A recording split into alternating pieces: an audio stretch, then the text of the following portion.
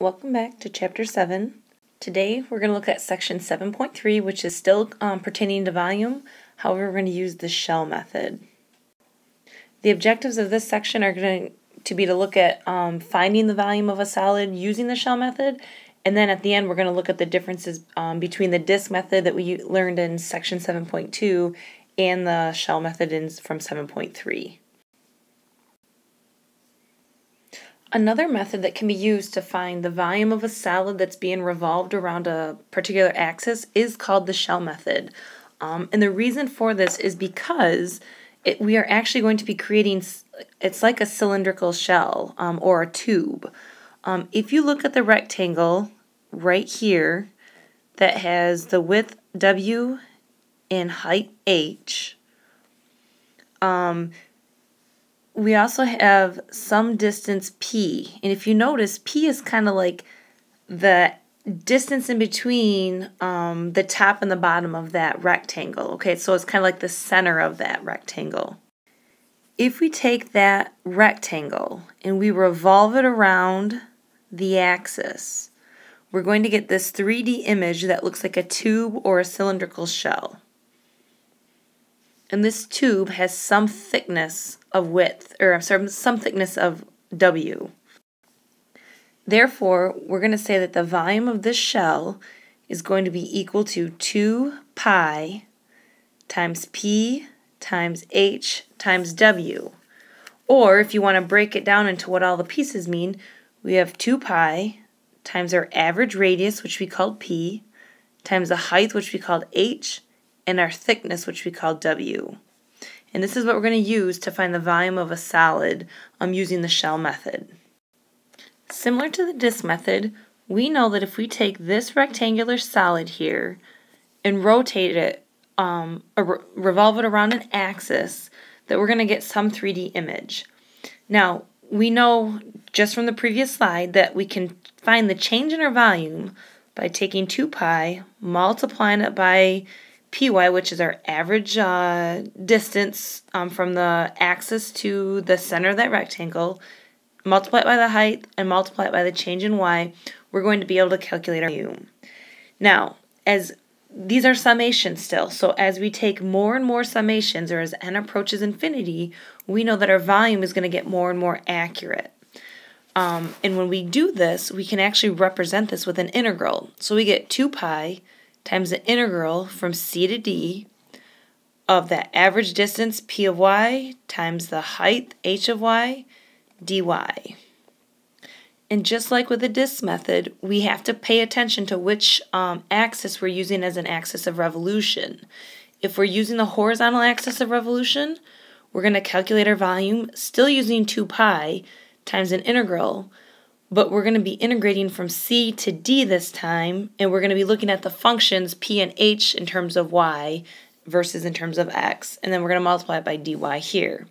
Just like if we're looking at a vertical axis of revolution, our volume is going to be 2 pi times the integral from a to b of p of x, h of x, dx. And again, that has to deal with which axis we're revolving our um, rectangle about. Let's look at example 1.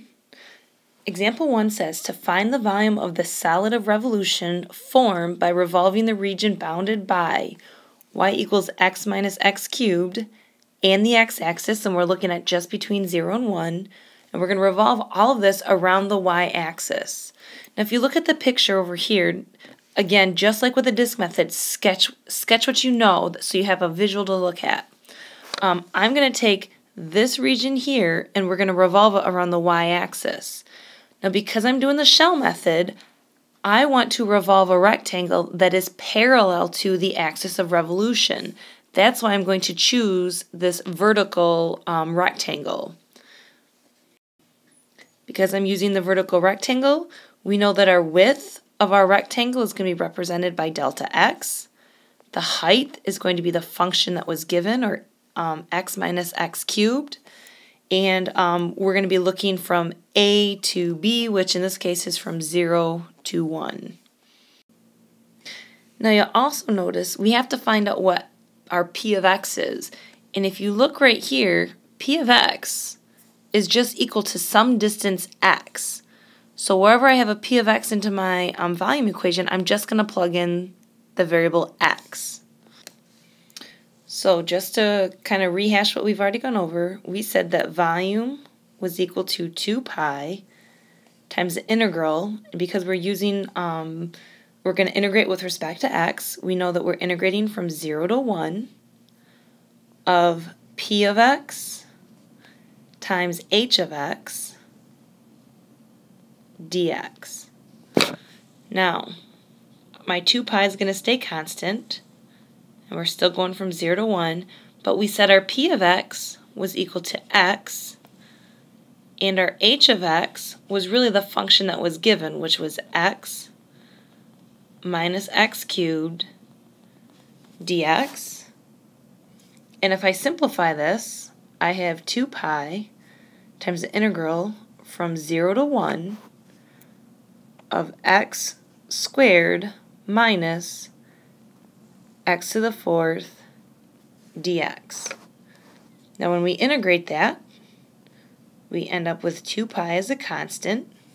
The integral of x squared is going to be x cubed divided by 3 minus the integral of x to the fourth is going to be x to the fifth divided by 5 and we're going to evaluate that from 0 to 1.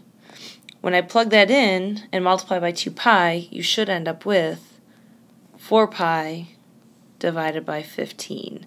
And this would be the final volume of that region. Now, example 2 says to find the volume of the solid of revolution formed by revolving the region bounded by x e or x equals e to the negative y squared, the y-axis, which again we're looking between 0 and 1, and we're going to rotate these around the x-axis. Now if you look at our image here, this is what our graph looks like. Okay, because we are revolving this around the x-axis, I have to come up with a rectangle that is parallel to, which gives me a horizontal rectangle. So because of this, I know that when I integrate, I will be integrating with respect to y.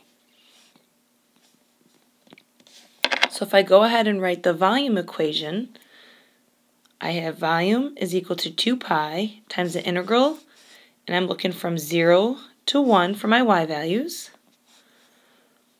We said p of y is this distance here, and that's just equal to some y value, so I'm going to plug in y, times my h of y, which is e to the negative y squared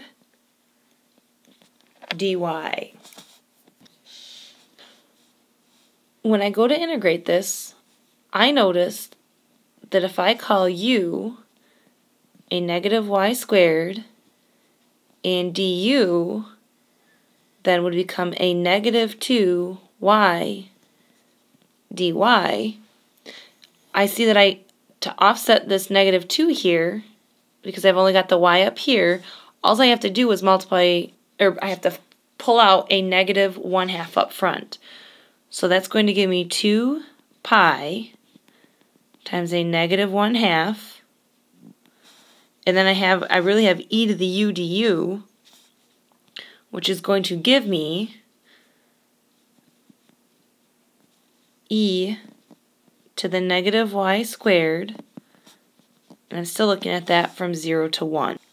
So when I simplify, I have a negative pi times e to the negative y squared from 0 to 1.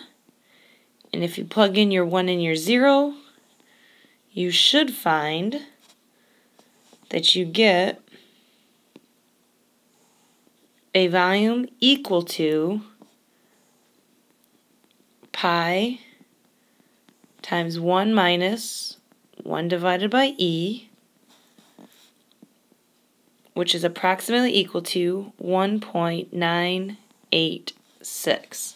And this would be your final volume of that region that was revolved around your x-axis. Next, we're going to look at the comparison of the disk method from 7.2 and the uh, shell method that we learned here in 7.3.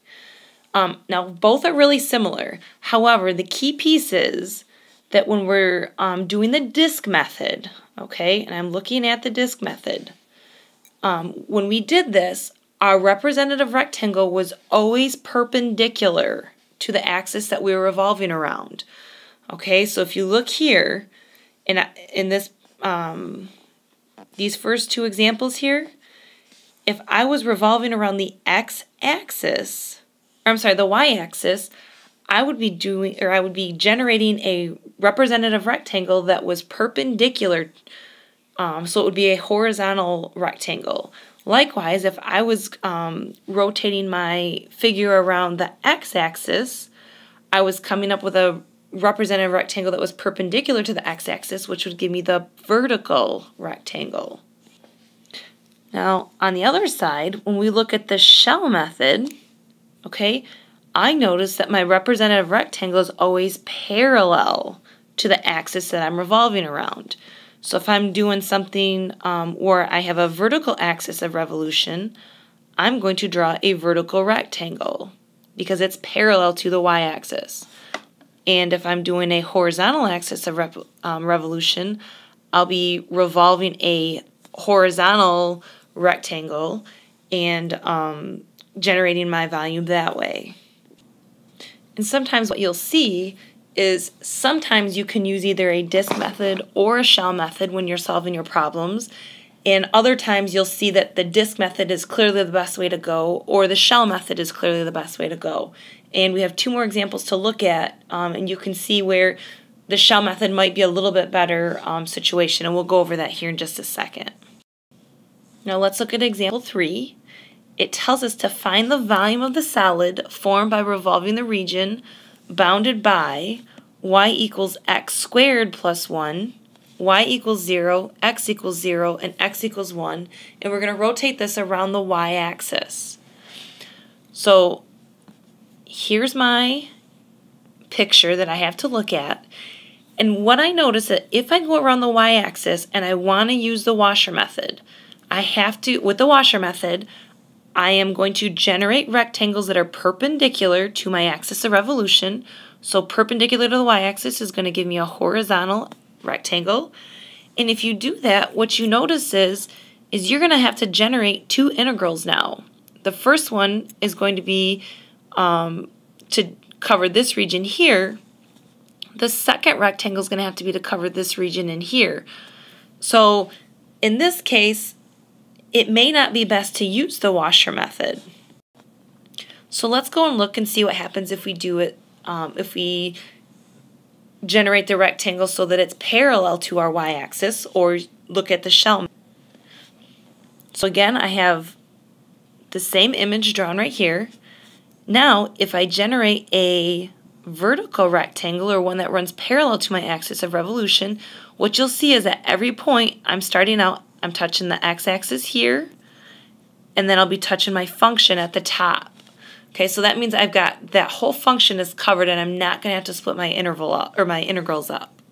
So this would probably be the better method of the two to use. So let's go ahead and set our equation up. We have volume is equal to 2 pi. I'm going from A to B because I am doing a vertical rectangle. I'm going to do this with respect to x. So I'm going from 0 to 1. My p of x is going to equal x because this distance here is um, x. My h of x is going to be my function, and my function was x squared plus 1 dx. Now when I distribute, I end up with a volume that's equal to 2 pi times the integral from 0 to 1 of x cubed plus x dx. And if I integrate that, we have 2 pi times x to the fourth divided by 4 plus x squared divided by 2. Evaluate that from 0 to 1. And if I plug everything in, we should end up with a volume that's equal to 3 pi divided by 2. All right, for our final example, we want to find the volume of the solid that's formed by revolving the region um, bounded by the graphs y equals x cubed plus x plus 1, y equals 1, and x equals 1. And we're going to take this region and we're going to rotate it or revolve it around the line x equals 2. And if you look at your diagram here, you'll see that we have kind of a almost like a triangular shape region. We're going to be revolving it around the axis um, or the line x equals 2. And at first, you can look at this and you can say, okay, I could do either a vertical or a horizontal rectangle, and that's fine. But the thing that kind of sticks out in my mind is, is if I do a horizontal rectangle, so a horizontal rectangle means that I am going perpendicular to my axis of revolution, which would tell me that I'd be doing a washer. And if I do a washer, then I'm going to have to change my equation and put it in terms of an x equals. Okay, when I look at y equals x cubed plus x plus 1, I see that that's going to be kind of difficult to do. So I'm probably not going to want to go that route. I'm probably going to want to leave this equation just as it is, which means then I'm going to have to do the vertical representative rectangle. That's what I'm going to be revolving, and because that is parallel to my axis of revolution, which was x equals 2, that means I'm going to have to use the shell method. So, the shell method tells me that my volume is equal to 2 pi times the integral. And because I'm doing this um, in terms of x's, I'm going to be looking from 0 to 1 for my limits. My p of x in this case is going to equal this distance here, which is going to be 2 minus x. So 2 minus x is really my p of x. My h of x is going to be my height, which is going to be my function. So x cubed plus x plus 1. However, I also had the boundary that said um, that y was also equal to 1. So I'm going to have to subtract 1 out from that. So this is really my h of x equation. And then I have my dx. So when I go through and I simplify everything, I end up with a volume that's equal to 2 pi times the integral from 0 to 1 of 2 minus x times x cubed plus x dx.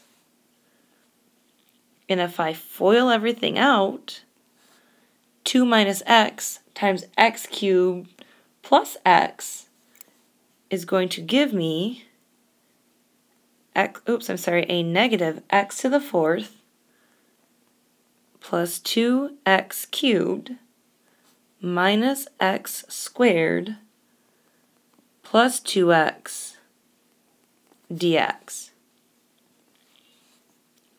So if I integrate this, oops, let me get that out of there. I'm going to be looking at a negative x to the fifth divided by 5 plus I have x to the fourth. I'm going to be dividing that by 4. So 2 divided by 4 is really over 2 minus x cubed over 3 plus x squared. And again, I'm are evaluating that from 0 to 1. And when I do go in and I evaluate this, you'll see that you get a volume that is equal to 29 pi divided by 15. And that concludes section 7.3.